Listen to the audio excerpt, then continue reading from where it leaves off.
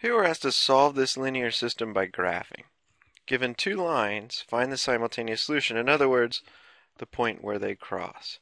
Now it's going to be much easier to graph if we put it in slope-intercept form. y equals mx plus b. So let's go ahead and do that. Let's solve for y on both of these and find what's called the equivalent system. Okay, dividing here by negative 1. Be careful when you divide by negative 1, uh, you have to divide both of these terms by negative 1. And that leaves me with x plus 4.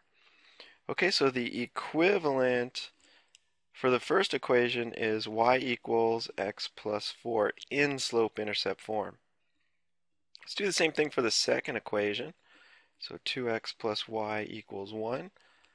Solving for y, let's go ahead and subtract 2x and that gives us y equals negative 2x plus 1. So what I have here is called an equivalent system. An equivalent system where the lines are in slope-intercept form. So it'll be easier to graph. Okay, so let's draw in a blank Cartesian coordinate system.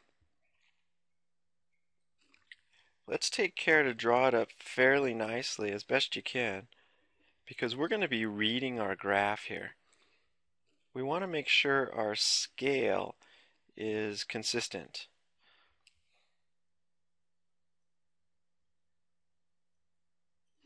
And actually, the larger your graph, the easier it is going to be to read it.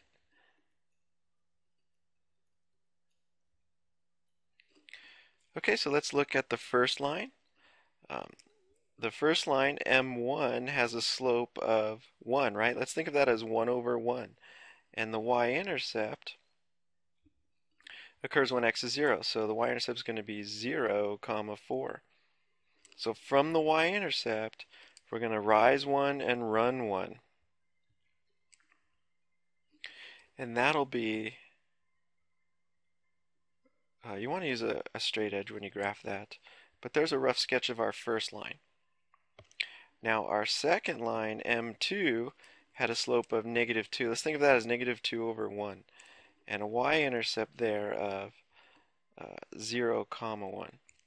Okay, so put a dot at the y-intercept. This time we're going to rise negative 2. We're going to go down 2 and run 1. Okay, now when I connect those dots,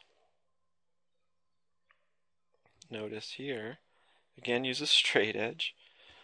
Um, there's a rough sketch of that. Now we're looking for actually the point where they cross. So I'm looking right here and it appears on my graph that they're crossing at negative 1 comma 3.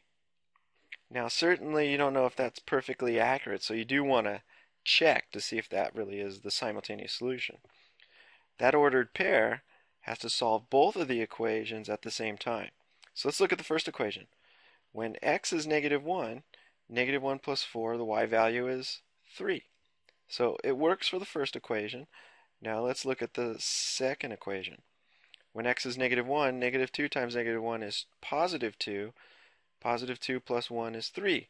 So notice that negative 1 comma 3 works for both of those. So that is the answer. That's the point where they cross. That's the simultaneous solution.